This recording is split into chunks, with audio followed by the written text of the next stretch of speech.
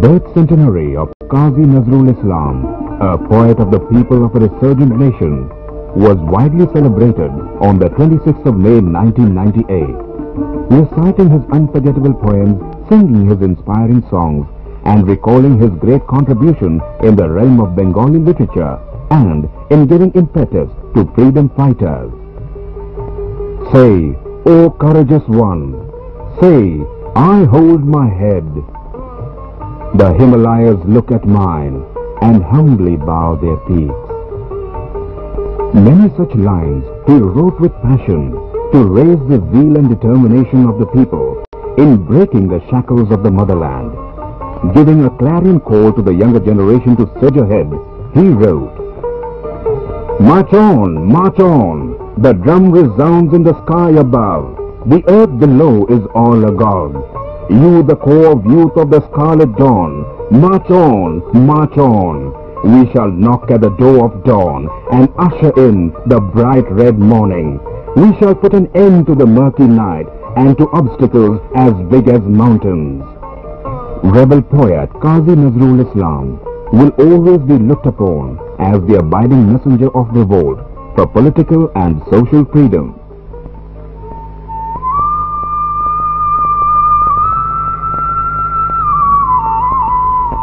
Churulia village in Burdwan district of West Bengal. Here, Nazrul Islam was born on the 24th of May 1899.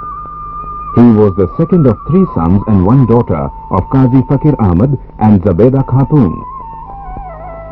After preliminary learning, Nazrul joined the Searsole Raj High School, where he was granted free studentship and free lodging by the local landlord.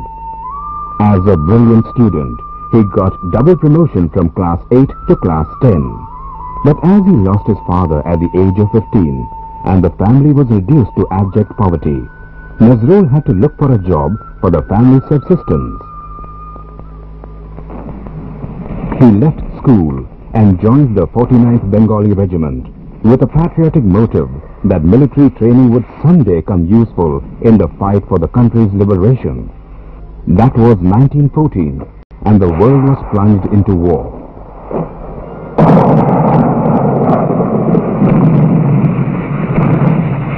As Nazrul was born in the lap of muses, he continued to write poetry even in the midst of war and mailed them to Bangiya Musalman Sahitya Patrika Calcutta, in which his first poem, Mukti, was published in 1919. The 49th Bengali Regiment was disbanded in March 1920 and Nazrul returned to Calcutta. That was the time of non-cooperation and the Khilafat movement. The political unrest dragged Nazrul into its fold. He came very close to veteran communist leader Muzaffar Ahmad, on whose advice Nazrul decided to stay in Calcutta and to pursue his literary career. Thus began the most fruitful chapter of Kazi Nazrul Islam at the age of 21. Poems, songs, ballads, stories, novels and essays started pouring from his powerful pen in quick succession. Soon he emerged as a prolific writer. Nazrul also associated himself in political journalism.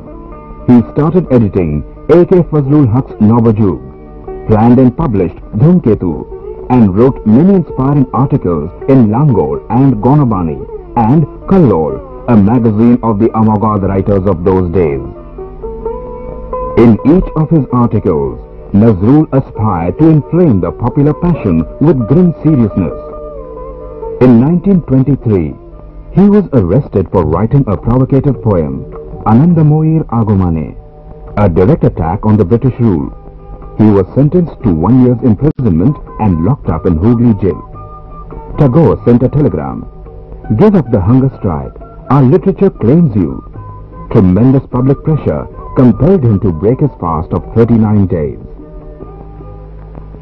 The propagator of communal harmony, Nazrul himself married a Hindu woman, Pramila Sen Gupta, on the 24th of April 1924. They had three sons, Bulbul, Shoboshachi and Aniruddha.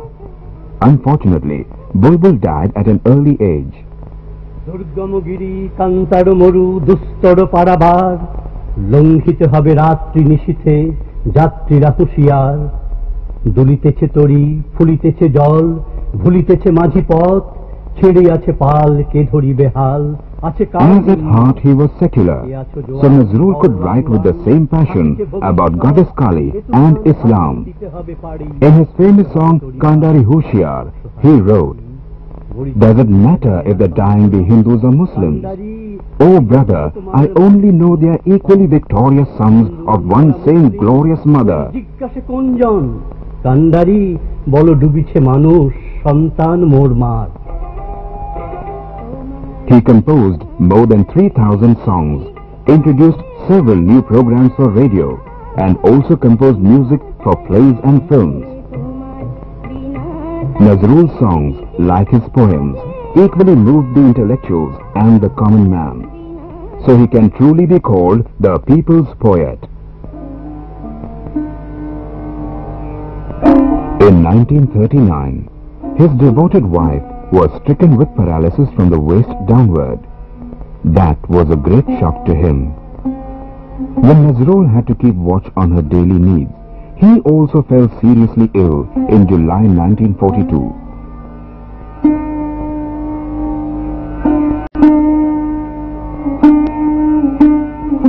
30th of June 1962, Pramila Nazrul passed away, leaving her seriously sick husband in a helpless condition.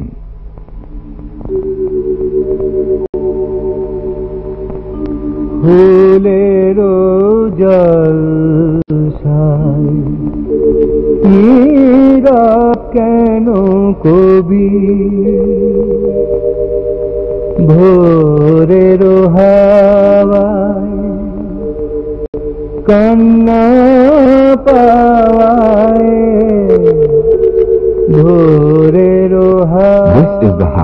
Calcutta, where Kazi Nazrul Islam spent his last days, without writing any creative line and speaking any word for many years.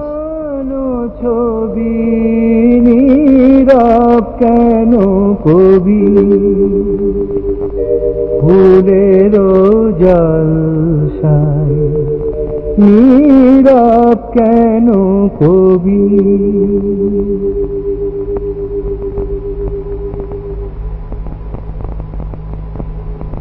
After the birth of Bangladesh, Nazrul was cordially taken to Dhaka by the government of the new nation. He was declared the national poet of Bangladesh.